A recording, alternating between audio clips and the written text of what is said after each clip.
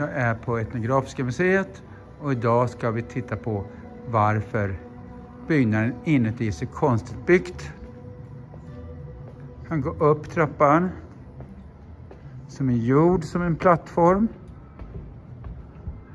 för att titta på någonting.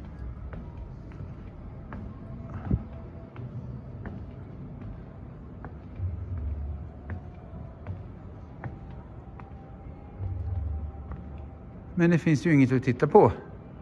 Det är typ bara luft.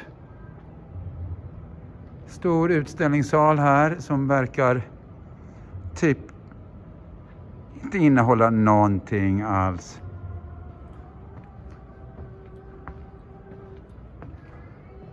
Ser ju ganska tydligt uppbyggt som om det ska vara scen för att titta på något stort.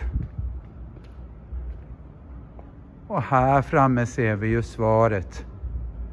Men först bara ta en titt på detta tomrum. En byggnad byggd för något som inte finns här.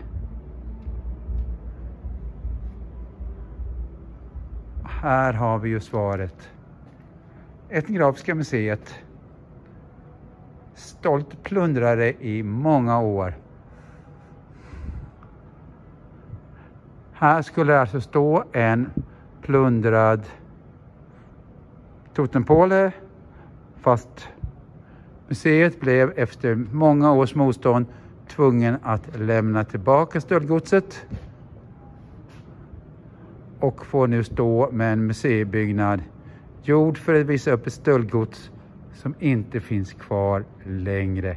Men så går det ju när man är en stolt tjuv.